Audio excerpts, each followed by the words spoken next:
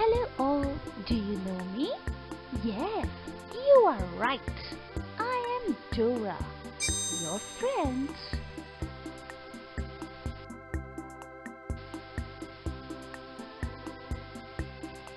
Hey Dora, I and my friends play in the surroundings of this house. Whose house is this? it's mine.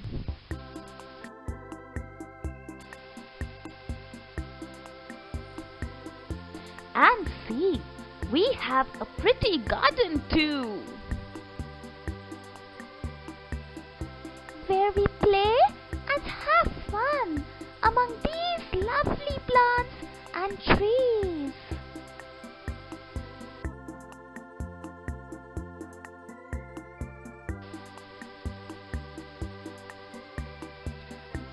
But do you know, Dora? Many people have cut down trees. So, me and my other friends have lost our home. That's so sad.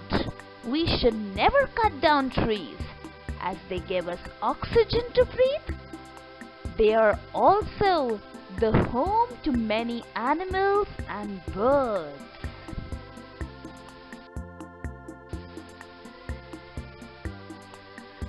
But don't you worry, dear squirrel.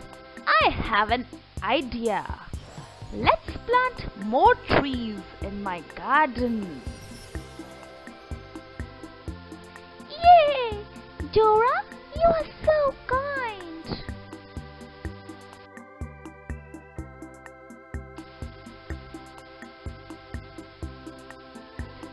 So, I have around 1575 trees in my garden.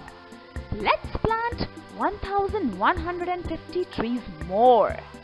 Can you tell me, dear squirrel, how many total trees will be there after planting? Dora, I just know how to eat nuts. You tell me, please.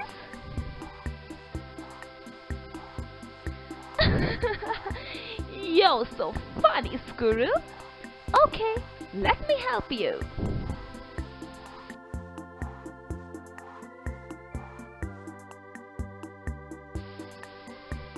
Follow the steps. Number of trees in the garden 1575. Number of trees to be planted 1150. Total number of trees of the plantation.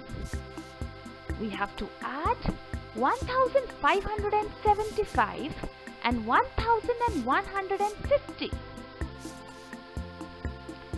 When we arrange the numbers vertically, we will get the answer as 2725 trees. This way you can do all the calculations. Thank you, Dora.